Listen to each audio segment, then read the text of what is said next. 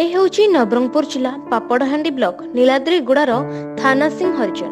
ବୟସ ପାଖାପାଖି ପଇଁଚାଳିଶ ବର୍ଷ ହେବ। ହେଲେ ଦୀର୍ଘ ଚାରି ମାସ ଧରି ସେ କିଡନୀ ରୋଗରେ ଆକ୍ରାନ୍ତ ହୋଇଥିବାରୁ ଚିକିତ୍ସା ପାଇଁ ପାଖରେ ଅର୍ଥର ଘୋର ଅଭାବ ଦେଖାଦେଇଛି। ଭାଗ୍ୟକୁ ଆଦରି ସେ ବିଛଣାରେ ପଡି ରହିଛନ୍ତି। ଥାନା ସିଂଙ୍କ ଦେହ ଖରାପ ହେବାରୁ ପରିବାର ଲୋକେ ପ୍ରଥମେ ତାଙ୍କୁ ନବରଙ୍ଗପୁର ସରକାରୀ ମେଡିକାଲରେ ଦେଖାଇଥିଲେ।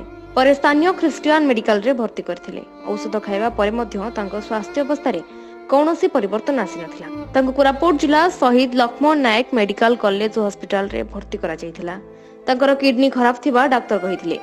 କିନ୍ତୁ ଟଙ୍କା ନଥିବାରୁ ପରିବାର ଲୋକେ ଥାନା ସିଂଙ୍କୁ ଘରକୁ ନେଇ ଆସିଥିଲେ।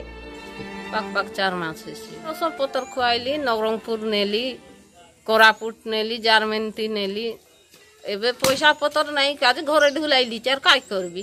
এই হাটর লাঠি খুঁটি গাড়ি করি কালাসি কাম করি করি, আমাকে চড়াইতে রেলা ঢুললা আর আমাকে কন্ত্র পয়সা পতর, হাট মাস্ট মিশা বন্ধ হয়ে গলা।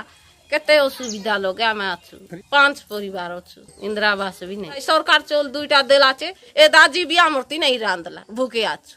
শাক ডাল রেলে তো চল দুইটা খাই করে বুকি।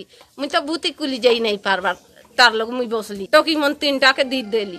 ପିଲା ଦୁଇଟା ସାନ ସାନ ସେବେଠାରୁ ଥାନା ସିଂ ଘରେ ରହିଛନ୍ତି। ଅନ୍ୟ କେହି ରୋଜଗାରିଆ ନଥିବାରୁ ଏବେ ପରିବାର କିପରି ଚଳିବ ଓ ଥାନା ସିଂଙ୍କର କିପରି ଚିକିତ୍ସା ହେବ ସେ ନେଇ ପରିବାର ଲୋକେ ଚିନ୍ତାରେ ପଡିଛନ୍ତି। ସରକାରୀ ସହାୟତା କହିଲେ ମାସକୁ ପଇଁତିରିଶ କେଜି ଚାଉଳ ମିଳୁଛି। ଏପର୍ଯ୍ୟନ୍ତ ସରକାରୀ ଆବାସ ଯୋଜନାରେ ମଧ୍ୟ ସାମିଲ କରାଯାଇନାହିଁ ସେମାନଙ୍କ ପରିବାରକୁ।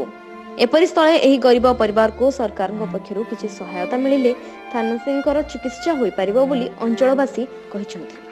ନବରଙ୍ଗପୁର ପାପଡ଼ାହାଣ୍ଡିରୁ ସୀତାରାମ ବିଶୋଇ ହେଡଲାଇନ୍ସ ଓଡ଼ିଶା